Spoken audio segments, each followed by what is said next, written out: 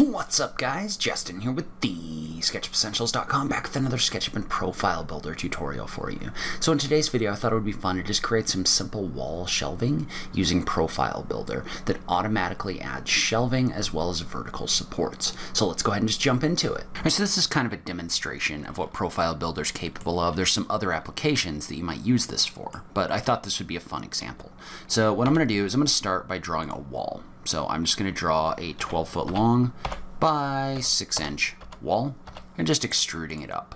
And so we're going to assume that we want to add some shelving on this face right here. And so what we're going to do in order to set this up in Profile Builder is we're going to need two things. We're going to need the profiles of the shelves, and then we're also going to need the vertical supports. And so to start off, what I'm going to do is I'm going to model a vertical support. So I'm just going to come in here and I'm just going to draw this. And all I'm going to do is I'm going to make this very simple. I'm just going to assume that this is going to be some kind of an arm that comes off of the wall, maybe 18 inches.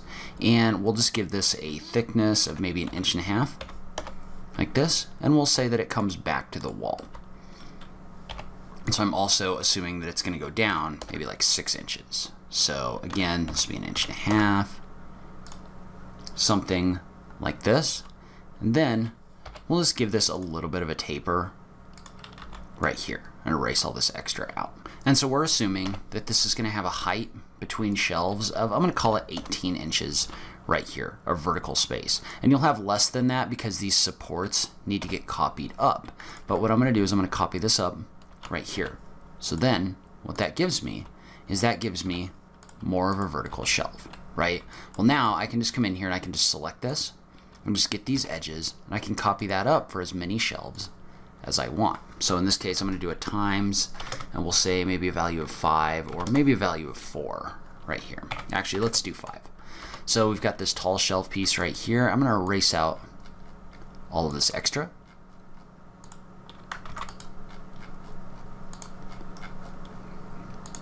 so this is one individual face. And I'm going to assume this has a thickness of, um, it's going to be pretty narrow, so we're going to say that it's got a thickness maybe of a quarter inch, so 0.25 right here.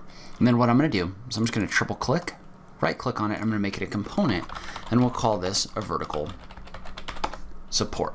Well now, within Profile Builder, we can start using this in order to create our shelving. So, now I can add an assembly by going into the assembly dialog and clicking on the button for component. And so within this assembly, I want to add this component. So I'm just going to come in here, I'm going to click on the button for pick from model.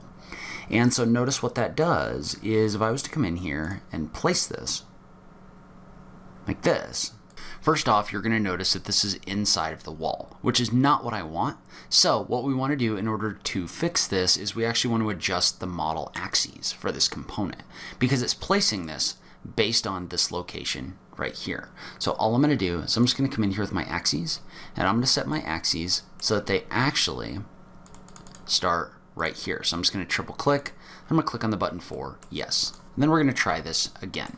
So now if I was to add this in here, Notice how these are being placed on the wall rather than where they were before. So they're being placed based on that axis location for each component. So that's good. That's going to do what we wanted to do. But now, let's say we want these to be spaced every 4 feet instead of every 8 feet. Well, we can just come in here and we can just set our spacing to 4 feet and then notice how I have this selected. I can click on this button right here to apply those attributes. So now these shelves are going to be created at every four feet. So now we've got our shelving assembly that's going to add these along a wall or along really any kind of path. So if I was to select this, for example, it'll place these along this path right here. But what we want to do for the moment is we want to start adding our shelving profiles in here. So we can add our shelving pro profiles just by modeling one of them out and then adding it to our assembly. So the way that I'm going to do that is I'm just going to model this out and we're going to assume that this is maybe a 3 quarter inch thick piece of shelving. So I'm just going to model out my piece of shelving right here. Then I'm going to close this in. So what that's done is that's created a face. Well, I can take that face and I can add it as a profile by adding by clicking on the profile dialog right here. So we'll just click the plus button right here. We'll just call this shelf and click on OK.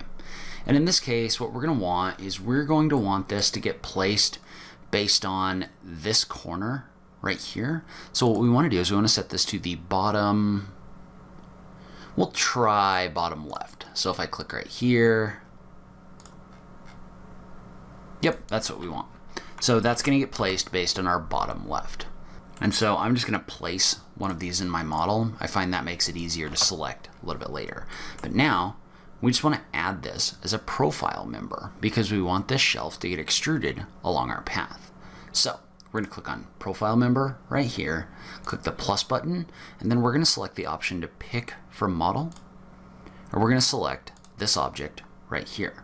We'll notice how now this shows a copy of this shelf inside of our model. So we can just click on the button right here after selecting our assembly in order to place that.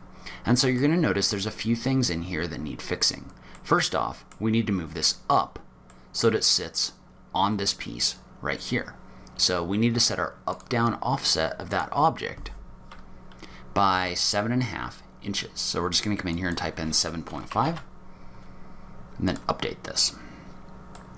The next thing you're going to notice is this is off on the end by a little bit. So what we want to do is we want to set our left-right offset to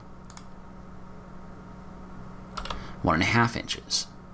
So we're going to do 1.5 and then update this.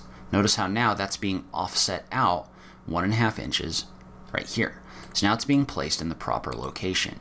One thing to note about this, and I'm going to delete out this edge that I drew, notice how at the end this support is being placed on the end of our assembly. Well, we want to set that back by the thickness of our object because it's overrunning this by a quarter inch. So we just want to go back into our components real quick. we want to set our end setback to a quarter inch. So now, if I update this, this is going to be placed in the proper location.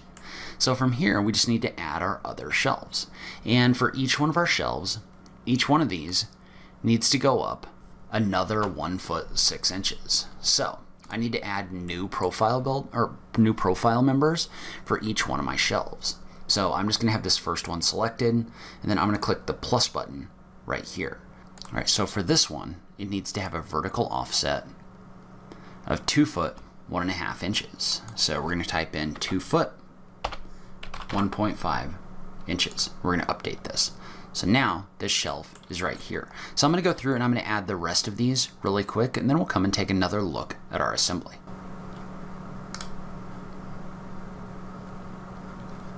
So now you've got a quick shelving assembly that you can add to walls inside of your models like this. Notice how if you wanted to, you could also place this along multiple different edges as well. So you could put this along an arc, and that's going to generate this shelving really quickly. Alright, so I will link to a couple other videos about Profile Builder on this page. If you want to vote on the next extension that I cover on the channel, make sure to check out my Patreon page in order to do that. As always, thank you so much for taking the time to watch this. I really appreciate it, and I will catch you in the next video. Thanks, guys.